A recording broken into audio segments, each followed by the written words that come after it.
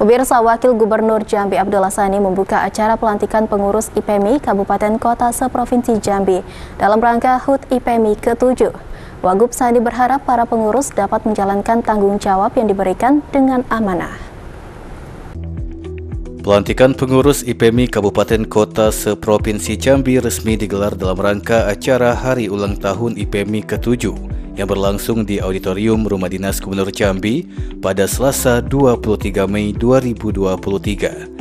Kegiatan ini dihadiri sekaligus dibuka oleh Wakil Gubernur Jambi Abdullah Sani, turut hadir Ketua TPPKK Provinsi Hesni Darharis, perwakilan DPW Provinsi, para kepala OPD serta pengurus dan anggota IPMI dari kabupaten kota.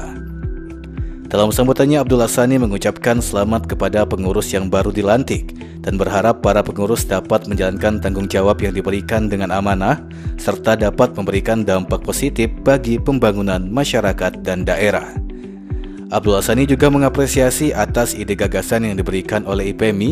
Ia juga berharap kuliner akan berkembang melalui tangan-tangan perempuan tangguh IPMI, sehingga akan menarik wisatawan untuk berkunjung ke Provinsi Jambi harapannya insya Allah kuliner akan berkembang di Berjambi melalui tangan-tangan dingin uh, ibu-ibu uh, semuanya para perempuan tangguh.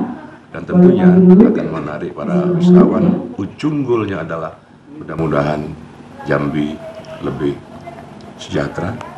Saya sampaikan tadi menyangkut misi yang kedua memantapkan ekonomi masyarakat daerah dan sekaligus memetakan sumber kualitas sumber manusia. Kami sampaikan selamat, mudah-mudahan berkah bertumbuh berkembang sebagaimana diharapkan demi kesejahteraan organisasinya dan masyarakat Jambi tercinta ini. Rian Chen Chen, Cek TV melaporkan.